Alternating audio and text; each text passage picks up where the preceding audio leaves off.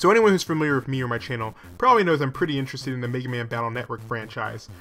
I collect the PETs, toys, trading cards, battle chips, and just about anything else, even some of the Star Force stuff. So as a collector, why would I want bootleg battle chips? Well, there are a few interesting reasons.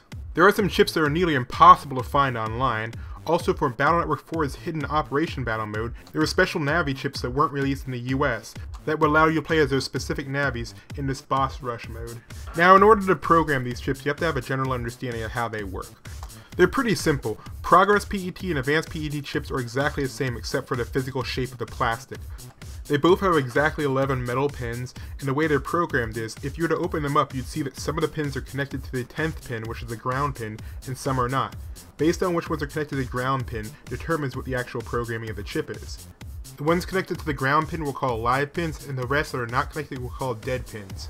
Next, you'll need to figure out the programming of the chip you want to turn it into. In this example, I'm turning a wide sword into Delta Ray Edge, and I'm turning a wide blade into a Bass chip. But don't worry, you don't need to open up your battle chips to figure out the codes. I found a list online in Japanese that has the battle chip codes for many of the advanced PET chips. I translated it and re-uploaded it to my Google Drive, so you can just look at this list to figure out what your codes are. I made a list from scratch for the Progress PET, so you can look up that too if you're trying to make Progress chips. And like I said before, Progress PET chips and Advanced PET chips have the exact same board style, so if you wanted to make a Progress PET chip out of an Advanced PET chip, that will work just fine. Just one thing to watch out for when looking through the list is Navi chips and Navi double soul chips are not exactly the same. If you see a chip listed with the word Navi by it, that means it's a double soul chip, which can be used for double soul on the Progress PET and can also be used for the Operation Battle in Battle Network 4. Alright, now that we know the layout of the chip and the layout of the chip that we want to make, we should be able to actually figure out what we need to do to make this chip exactly the same as the other one. Since we have a few live pins over here, we have to bridge them to make this chip match the one we want to create. Alright, looking at this diagram, it looks like Delta Ray Edge requires pins 2 and 3 to be alive, as well as 6 and 7.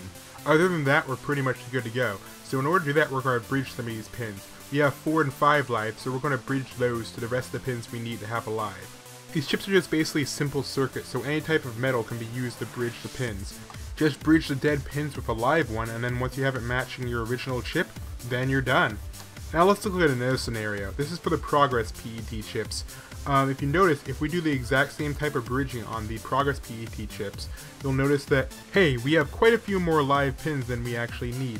Ideally, you should plan ahead and pick the best chip that closely matches what you're trying to make, but if you don't have any choice, then sometimes you have to do this. We have all the pins currently activated, so what we have to do is we have to find a way to kill the pins we don't need.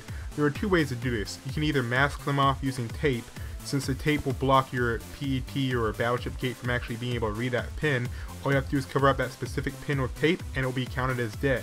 The more permanent way of doing it is to physically actually cut the pin from the ground wire. In order to do this, all you have to do is cut right below the bridge, and then the end of the pin that connects to the PET or battle chip gate will not be connected to the ground, so your PET will read that pin as dead. Alright, let's see this process in action. As you can see, I already printed out a label for this chip. I'm going to be making a roll Navi chip. And yes, we're going to be using a soldering iron for this. So if you don't feel comfortable using that or you don't have one, there's still a tape and foil method. I have a link to that up on screen, so you can just do that if you don't feel comfortable. But this is the most permanent method, and as long as you take your time, it should come out pretty well. And remember, use a simple chip which doesn't require as much soldering. Anyway, so the first thing you gotta do is make your bridge just as I showed before. Just I'm putting a few drops on the contacts and I try to push them together. I find that giving it a little bit of extra solder and just moving really really slowly is the best way to get the actual bridge working. These battle chips are made out of really cheap plastic and the board under it's cheap too, so you gotta be really careful. Only have the soldering iron contacting the board for a maximum 2 seconds. You don't want to burn a hole through the board or melt the contacts. I've had both happen to me before.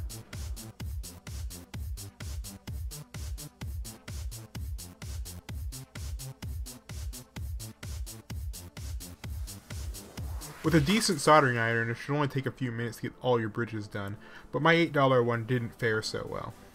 But eventually did get it to work. When you get it completely finished, you want to go ahead and turn the chip sideways and make sure you don't have any solder sticking up higher than the actual chip's plastic. If it does, it will probably get snagged inside your battle chip gate, or it may not fit inside your PET. So try to keep the solder as low as possible. The next step is cutting in contacts. You can either use a good quality pocket knife, but an X-Acto knife will probably be better. Just simply run it over the contact right before the bridge as high up as possible, and that should cut off that contact from the ground connection. To do this, I put the tip of my knife right before the contact I want to cut, and I apply pressure to the back of the knife. That gives me enough pressure to actually cut through that single contact, but not enough for me to cut through all the other contacts. In order to make a clean cut, you may have to go over it a couple times. If you cut the wrong contact, like I embarrassingly did, you can simply just roll some of the solder from your bridge over the cut, and then boom, the pin is live again.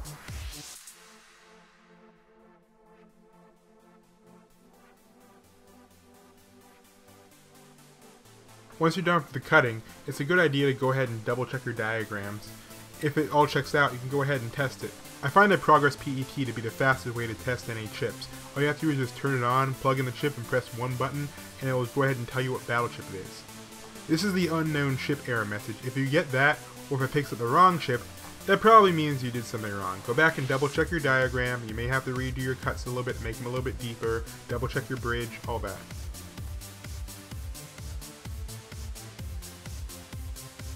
After I redid my cuts, I went ahead and tested the chip again. This time it showed up as the wrong battle chip, so I went ahead and double checked everything and it seemed okay. Turned out it was just dirty contacts. Wiping off the contacts I was able to get the right chip detected. So let's go ahead and test it out in Battle Network 4.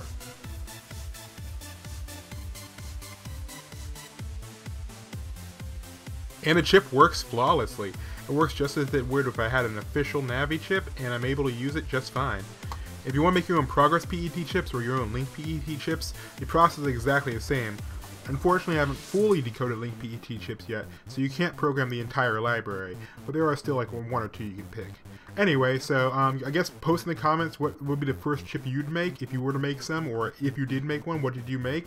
And I guess I'll see you guys in the next video. Bye.